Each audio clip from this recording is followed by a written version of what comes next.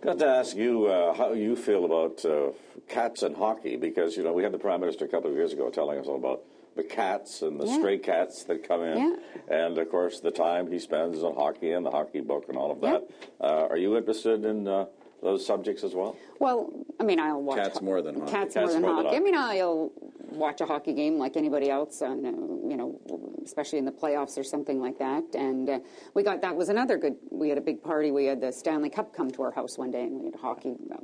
Um, you know, all the kids in the neighborhood. I think we had about 80 kids. Half the neighborhood was there, and got to see the Stanley Cup. So that was fun. And then the other one is uh, animals. I love animals. I grew up in the country, and um, so we foster. We actually sent them back to the Humane Society last week. So somebody in Ottawa adopted a beautiful little white cat with blue eyes, and they probably don't know, but was uh, fostered at our house. So somebody How many cats do you think you've adopted out since we?